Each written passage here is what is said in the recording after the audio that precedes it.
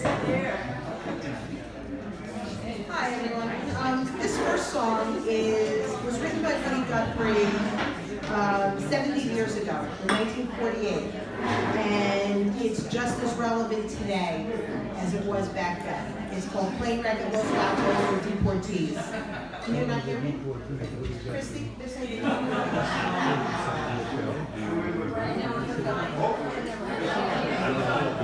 Okay, is this better? Yeah. All right, I'll, I'll repeat that. So this song was written by Woody Guthrie about 70 years ago in 1948, um, and it's just as relevant today as it was back then. It's called Plane Wreck at Los Gatos, Football and.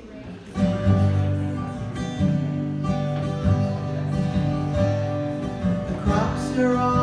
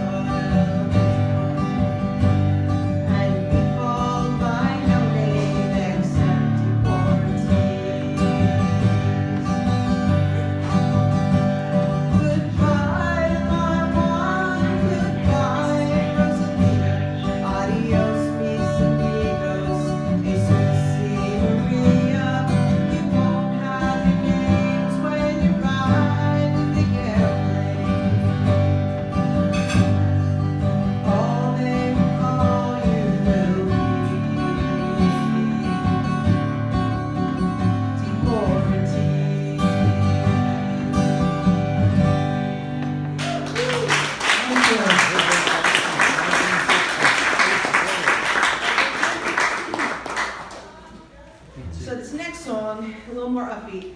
Um, this is actually based on a poem by Eugene Field. It was written in the late 1800s. Um, and it was put to music by Lucy Simon. And she and her sister Carly recorded it in the early 1960s as the Simon Sisters. And it's called Wynken, Blynken and Nod.